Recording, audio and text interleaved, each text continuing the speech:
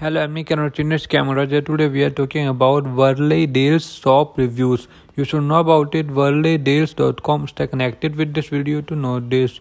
WorldlyDeals.com has an average to good trust score. Why? It seems that this website is legit and safe to use, not a scam website. The review of this website is positive. The positive trust score is based on an automated analysis of 40 different data sources we checked online, such as the technology used, the location of the company, other websites found on the same web server, etc.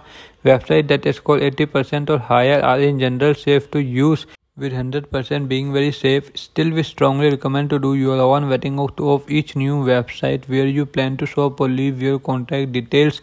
There have been cases where criminals have a highly reliable website. You can watch this video how to recognize a scam website as tool to guide you. Positive highlight first.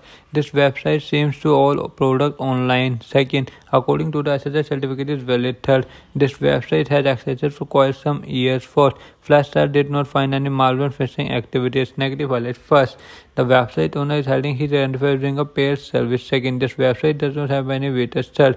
No review were found on commonly used review site to comment your thought about this website in this product. Please like this video and if you haven't subscribed my channel, please subscribe my channel, press the bell icon.